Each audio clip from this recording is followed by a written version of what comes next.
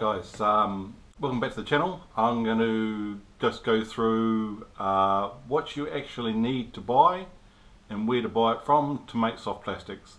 Let's get stuck into it and uh, hopefully you find all the information you need. Right, first off, safety. Plastisol when it's actually uh, microwaved, it gives off a lot of fumes and they're actually quite poisonous. So first thing is a respirator. That's from Bunnings. Uh, it's very good, very cheap. Uh, I think it's about $30. Um, everything here, I'll link in the description exactly where you can get it and how much it costs. Next for safety is gloves. These are just general um, work gloves. They will resist any burning. Burn my gloves a couple of times with plastisol coming out of molds. Um, and you know obviously save my hands. So they're great. Again from Bunnings a couple of bucks. Right the tools. First thing you'll need uh, is the injectors. There's different sizes. Um, this is I think 3 ounce and a 5 ounce. This one here is perfect for the stone molds and this bigger one is perfect for the aluminium or multi-cavity molds. And I'll show you those in a few minutes Next is the eBay special, I think it's $15, uh, the temperature sensor. And basically, I don't know if you'll see this, but we just turn it on, there's a, a red LED light, and it basically tells you the temperature. Um, that is really, really useful um, because you need to have your plastisol at a certain temperature. After a while, you know how long the plastisol will need to be in the microwave to get it at the right temperature. Next, the molds. These ones here are all stone molds. Uh, these are from USA slash Ukraine. There's lots of different type of molds here. There's uh, creature baits, there's uh, grubs, there's uh, swim baits, and um, minnows and all sorts of stuff here. Stone mold super cheap, delivered from overseas here, and the whole stone mold's about 40 to 50 dollars, even cheaper for some, depending on how complex it is and how big it is. Um, but yeah, that's an easy way to get molds. You can get customs, you can get, and there's thousands of different type of molds in there too as well. Um, you can pick from that already made. Next type of mold is a aluminium mold. These are great because these ones I've got are uh, multi-cavity molds. This one's called the jackhammer. You can see the sprue and the inlet there. It basically will do four at a time.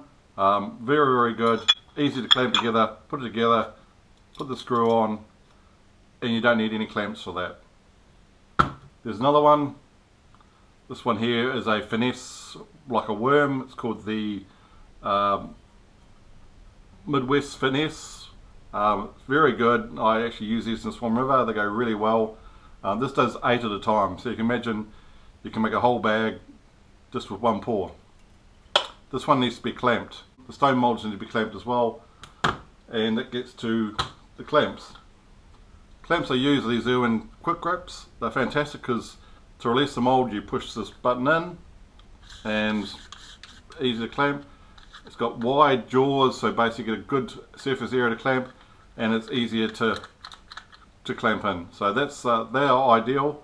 Uh, they come in two pack. All the details are in the description. And uh, again, they're from Bunnings, super cheap. Next on the list you need, quite simply, Pyrex cups. And the reason you need these is this is what you use to melt your plastisol. They will withstand a lot of heat, but the one hint that I'll give you, make sure you don't have a cold aluminium top or stone top that's really cold, when these come out hot and you put it on the bench, if that's really cold, these can shatter. Make sure that that's put onto like a wooden top or a tray that basically doesn't with, uh, retain heat or cold. That way you're not going to get that issue. The next thing is to the colorants or basically plastisol when you've heated it, it goes clear, completely gin clear. So uh, the first things you can use are these pigments. Um, these are brought from a guy um, and his firm's called A1 Pigments. uh, A1 Australian pigments. I think it's down in Kwinana. They are very, very good. These ones on the right are all chameleon colours. I'm not quite sure if you can see that, but this one here is a white, but it's got a pink or a silver in it. Um, there's a couple others of gold with a bit of purple in it.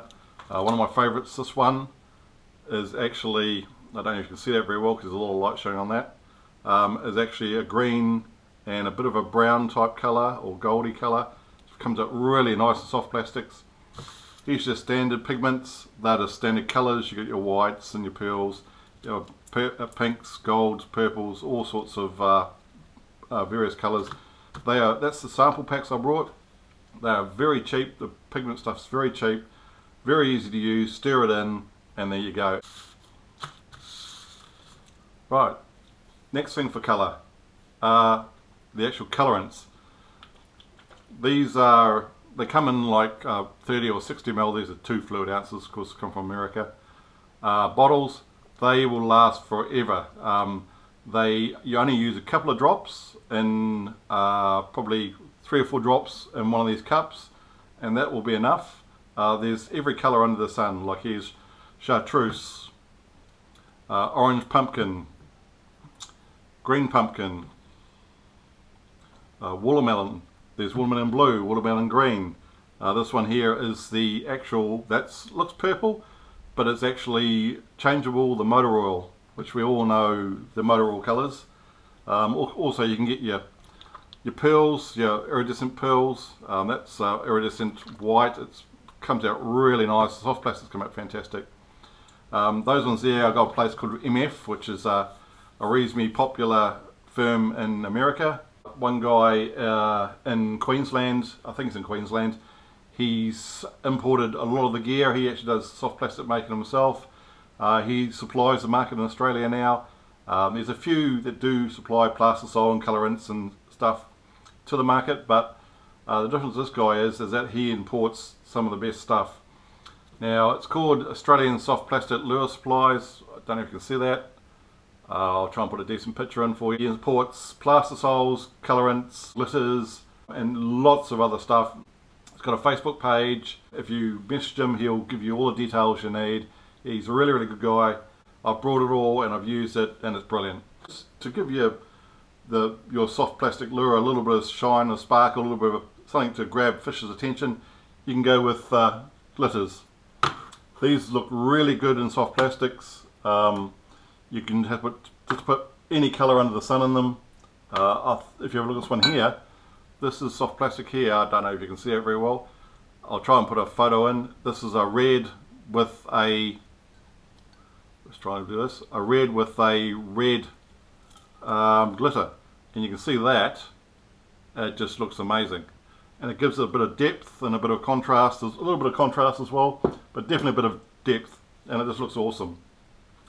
So you can get so many different types of glitters.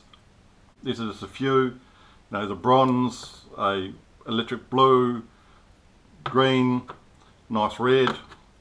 Uh, that's a yeah, that's a bronze, but you know, obviously a different type of bronze.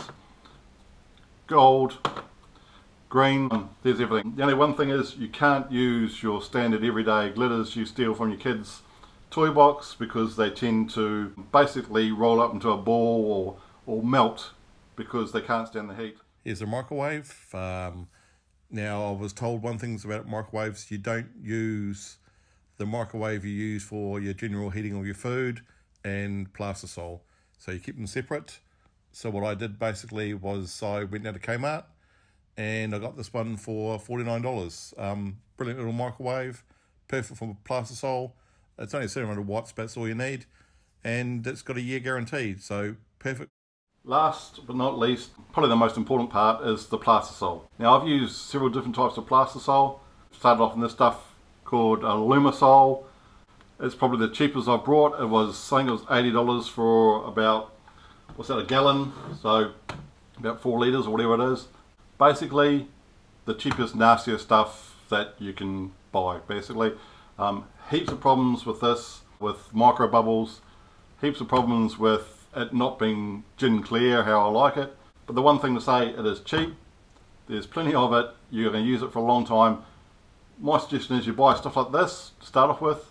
You go through all your testing, all your experimental phases of using colorants and glitters and how hot is this guy. You can you can burn this plastisol to hell and throw it away. You know, it's not expensive. But you can go up. The other couple of plastisols I used were this one by Umaker called um, Premium US Plastisol. That wasn't too bad. Again, you know, an average plastisol and an average price. I tried this one, and it's all these are all from the Australian market, by the way. So I don't import it yet from overseas because it's just too expensive. But this one's called uh, the Luan Fly Co. They're on eBay. It was a soft flex. That one there, again, problems with clarity, problems with micro bubbles in it, and those micro bubbles come out in the lure. But again, they're okay. There's nothing wrong with those. Now, I've just got and you have used uh, this new stuff from a guy I mentioned before, uh, Australian Soft Plastics Lure Supplies. He brings in this stuff and it's from the States called a, a company called Bait Plastics, which is probably one of the two biggest uh, salt suppliers in the US. They are brilliant. They are super gin clear like water. They are don't have any bubbles in them. They're basically bubble free. They're brilliant. Um, he's got a couple of different uh, types at the moment. This one here is a 212 medium because plastisol comes in soft, medium and hard. This is a 212 medium. And this one a 312 salt water which is a bit tougher, a bit stronger to sort of live up to catching or being bit by the pelagic fish. That's a little bit better. That is more expensive than the Alumisol and these other two, but by far the best. The, the, the difference in just basically the micro bubbles, not having to deal with them and get those out, and also the cl um, clarity of the plastics after being cooked is just brilliant. You can have an absolutely perfectly clear bait if you want one. So that is basically it. If you've got any questions, let me know. Happy to give you any information you want. But uh, for now, guys, that's it. If you want to take it up, it's a brilliant hobby, lots of fun. Just make sure you're safe with all the safety gear. There's thousands of videos on YouTube on how to do it, but uh, it's good fun. Anyway, for now, cheers guys, have a good one.